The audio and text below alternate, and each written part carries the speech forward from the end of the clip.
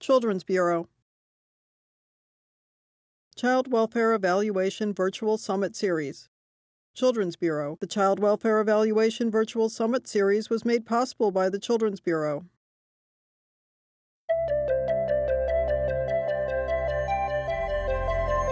Cost Analysis and Program Evaluation Part 2. In the previous video, we left off as Mike, an agency executive, asked how he should begin the process of a cost analysis. In this video, we'll learn how to take the first step towards doing a cost analysis. Ready when you are, Mike. Michael Shaver, Children's Home Plus Great. Aid. Help me think about the data we need to gather about our in home services to complete a good cost analysis.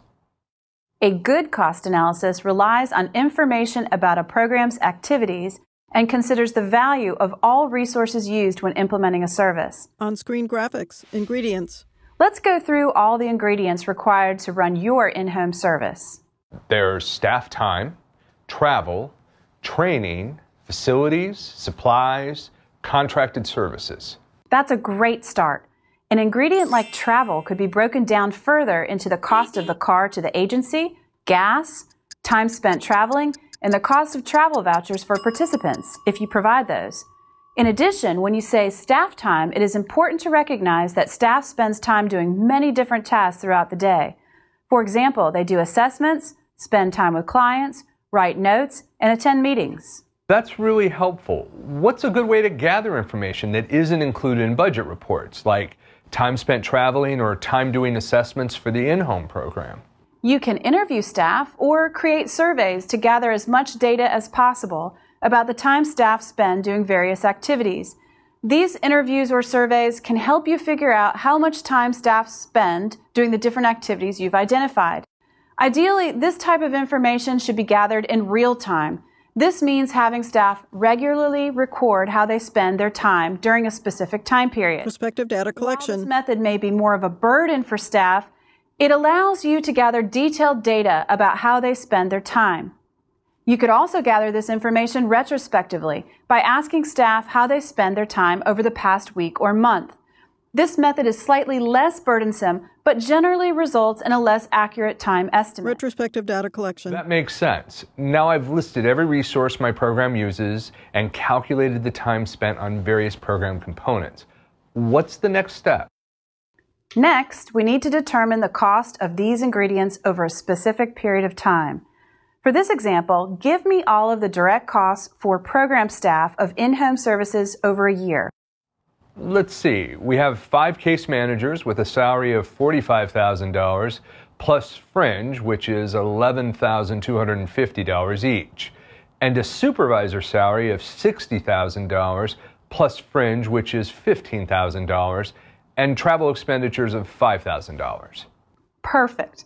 Being able to assign a dollar amount is really important. You can then take it a step further by using this information gathered on the time staff spend on certain activities and use it to break down the numbers you just gave me.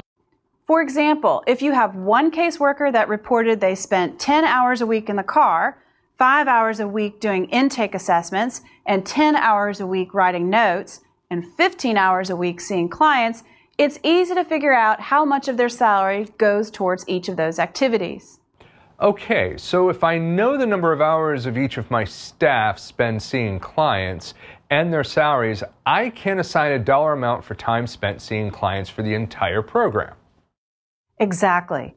Now, don't forget, we need to take into account all other costs that may not seem like they're related to direct program costs, but are still part of the programmatic cost assessment. Do you have those numbers available? Sure, materials and supplies are $1,500. The depreciation costs of durable equipment is $1,250. The annual lease payment is $3,000. The utilities are $1,500. And personnel whose costs are not directly attributed to the program total $168,750 for salary and fringe. Now remember, when doing a cost analysis, you need to take into account the cost of both volunteer and participant time. These families and individuals contribute resources. For example, the time spent in program activities and any out of pocket costs for transportation. A complete estimate of program costs would account for the value of these resources since they could be used in other ways. To assess the cost of volunteer and or participant time and resources, you may need to collect time estimates directly from the participants and volunteers and then calculate the cost of time, travel, and other resources based on comparable wages, local travel transportation costs, and comparable market costs. Estimating total costs. And now, after adding up all of the costs of each individual resource, we can estimate total costs. I see. So we account for each and every resource used by the program, and when put together, that number represents the cost of the program as a whole. Correct.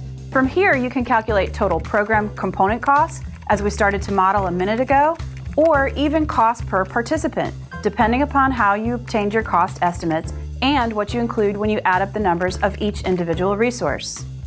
That makes sense. So my ability to calculate costs in certain ways depends on the data I have available and the data I collect. Exactly. We've learned a lot about your program, Mike, and from here, if you conduct an outcome evaluation, you can take the next step and determine the cost effectiveness of these in home services. Thanks for helping me get started on this cost analysis, Phaedra. This should be very useful for my decision making process. Anytime, Mike. Cost analysis. I hope you now have a basic understanding of the steps involved when conducting a cost analysis of a program in a child welfare setting. Thanks for joining us. Cost Analysis and Program Evaluation, Part 2. This video is based on work performed by the Calculating the Costs of Child Welfare Services Workgroup and its 2013 publication. Special thanks. A list of names follows Phaedra Corso, Michael Shaver, Roseana J. Bess, Emily Fisher, Rachel Walisco, Brian Deakins, Melissa Lim Brodowski, and Tammy White. This video was created by Paltech Inc. One final graphic Child Welfare Evaluation Virtual Summit Series.